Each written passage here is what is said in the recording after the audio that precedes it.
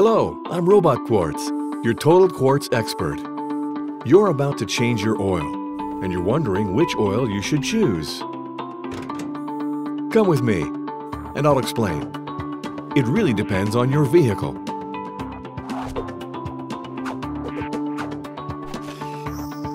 The right lubricant will meet international standards, as well as the specifications of each manufacturer.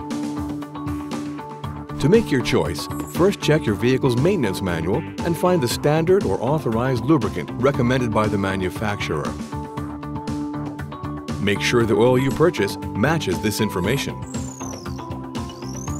You should also choose a lubricant whose viscosity matches your vehicle's needs. Viscosity is a measure of resistance to free flow and is listed in two grades, a hot grade and a cold grade. Total lubricants produce high-performance motor oils. For example, low SAPS lubricants avoid particle filter clogging, thereby protecting your engine's longevity. Particles are captured and burned in a particulate filter, significantly reducing the amount of particles emitted into the atmosphere.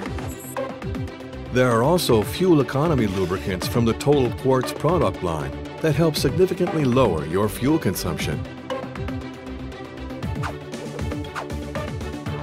Oil change frequency should be based on several factors. The manufacturer's recommendation, generally listed in miles or in years, and the kind of driving you do most often. City, rural, or motorway. You can always visit a nearby Total shop for more advice. Still not sure? Visit our website and let our online recommendation tool be your guide. You're now safe to drive. We look forward to giving you more advice in the future.